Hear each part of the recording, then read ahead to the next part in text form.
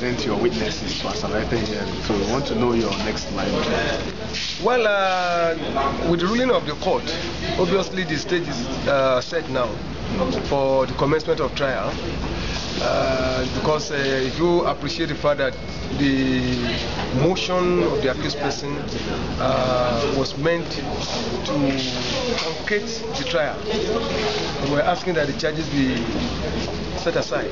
So now that the court has validated the charges and the counts and ordered accelerated hearing, what we need to do is to get our witnesses together and uh, come the 15th start calling our witnesses. We intend to abide by the order of the court for accelerated hearing. We intend to dispose of this case as expeditiously as possible, uh, so that this, the accused persons on one hand and the society on the other would uh, put this matter behind.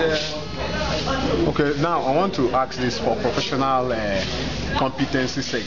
You filed a preliminary objection at the same time the accused was filing a preliminary objection, and the judge said it was unmeritorious. What do you think? What was your intention in filing that kind of application? It, it was everything is okay until the judge who presides over a matter rules over it. You understand now? And um, for now, that is the position of the court, and uh, I don't have a choice but to abide. But at every material time that I was doing that, I believe I was doing what was okay. But you should have filed a counter affidavit according to the judge. That means you were not following the proceedings because the court said I filed a preliminary objection. I also filed a counter affidavit.